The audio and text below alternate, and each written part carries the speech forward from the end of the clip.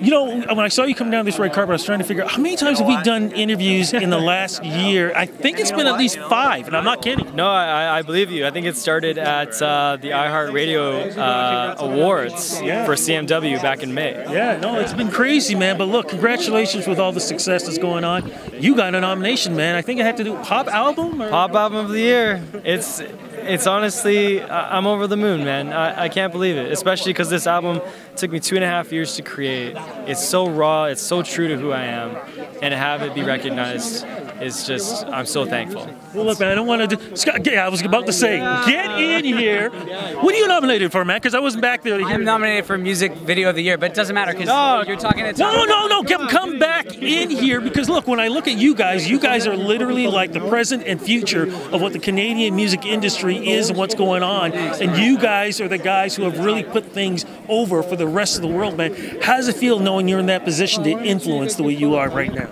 Whoa, that's a question and a half. big question. Um, I don't know. It's pretty cool. Like, it's, no, it's very amazing. cool. I think to lead the way for you know people who have a dream, just like we did, you know, to make it uh, seem attainable, hard work, perseverance, ambition. I don't know. And, and, and style. Did you see his video where he's like jumping all over the place and the room's spinning around? And well, what's the video called again, man? Uh, it's hang-ups. Yeah. That is got to be one of the coolest videos I've seen in a long time. Have you seen this video? I actually haven't, You have to see this. I, I know the song. See you though. later. How hard was it, man, to do that video?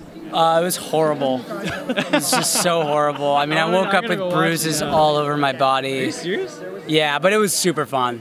Oh, I believe. wa- there was because I mean, you know, you know, like you do a music video and you have Yeah. one day, Yeah, yeah. or like maybe two days, and you have to like make it happen, and it's like I don't know if it's gonna work, um, especially when there's like uh, there's like so much going on.